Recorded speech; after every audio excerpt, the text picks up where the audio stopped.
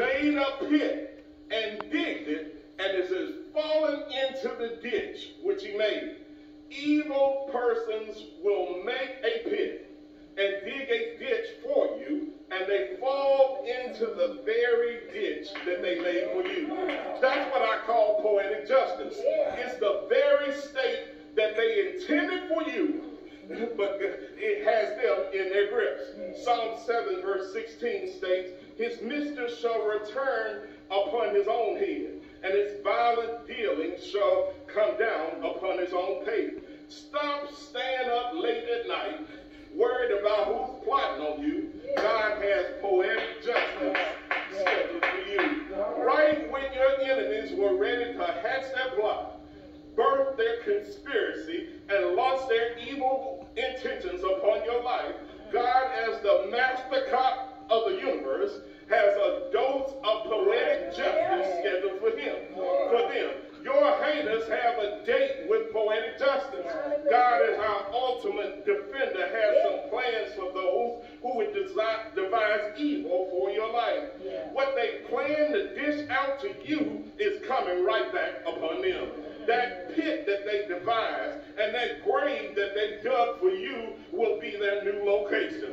The more they aim at you as God's child is the more that they are ruining themselves. I know that some of you might not remember Eliot Ness and the Untouchables, but God has those who would hold up his cause as the untouchable. Psalm 105 verse 15 states saying, touch not mine anointed and do my prophets no harm. Look at someone and tell them I'm an untouchable. Untouchable. I ain't talking about Eliot Ness. I ain't talking about Al Capone, but I'm an untouchable. Isaiah 54 verses 16 through 17 on this uh, uh, acoustically challenged Sunday. Let me give you this. Uh, Isaiah 54 verses 16 and 17. Behold, I have created the smith. God created the person that created the gun, that bloweth the coals in the fire, and they're bringing forth an instrument for his work. And I have created the master to destroy. No weapon that is formed against thee shall prosper, and every tongue that shall rise against thee in judgment thou shalt condemn.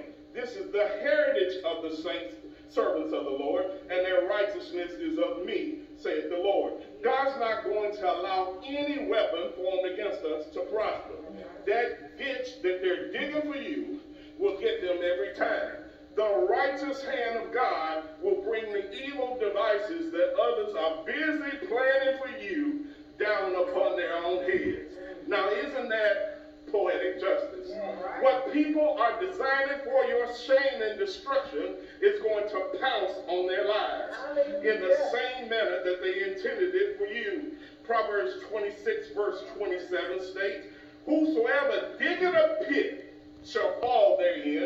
he that rolleth a stone, it will return upon him. Your haters, your adversaries, and your enemies have it coming just like they dished it out to you. God's got a heavenly boomerang pointed towards your opposition. Your opposition has an appointment with God.